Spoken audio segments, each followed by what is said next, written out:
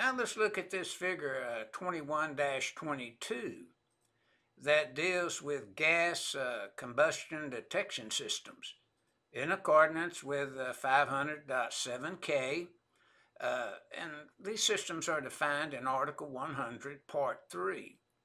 But notice they can be used in a number of ways, like one, ventilation valve control, uh, you know, uh, optical, uh, say, optical signaling, remote transmission, gas uh, detectors, acoustical, remote signaling, ventilation, uh, electrical operated valves, remote communication. Notice all the areas that uh, this pre-wiring alarm system could be used in an area that, that is classified.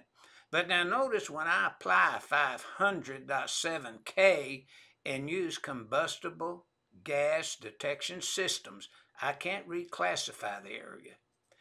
But I can use equipment that would not be uh, like Class 1 Division 1. If I use these, uh, this type of a system in a Class 1 Division 1, I can use Class 1 Division 2 equipment, and in some cases, uh, I can be in an unclassified, uh, or in a Class 1 Division 2 area, and uh, use equipment that's not even uh, classified under certain installation requirements. But notice that it's used quite extensive in our industry. Uh, if you're in the uh, oil industry, the API 500 and API 13.02 addresses uh, these systems in, uh, in detail and their use. Uh, the ANSI standard 12.13.01 uh, also gives you more bolts and nuts concerning uh, gas uh, detection systems uh, in combustible type areas. Now, you notice that 500.7K 1 through 3, I believe it is, will address these systems where they can be used. Now, you can also get into volume one, the Stallcup's Electrical Design book, and pick up more information about uh, these uh, combustible gas detection systems. But I really like the API 500 to explain a lot of, uh, about these systems. You know, about 20% of a mixture of uh, a vapor gas, you have to detect it. And then at 40%, you shut the system down.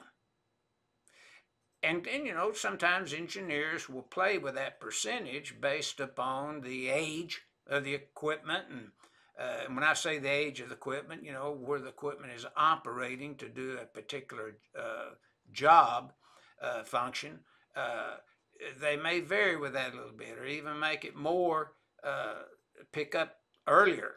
But the API 500, uh, along that uh, uh, 13.02, right in that area, goes through these rules. And now the NEC lists these rules, but these rules came out of the API 500 and were embedded into the NEC for folks that didn't really know about the API 500 and the information uh, that's available there.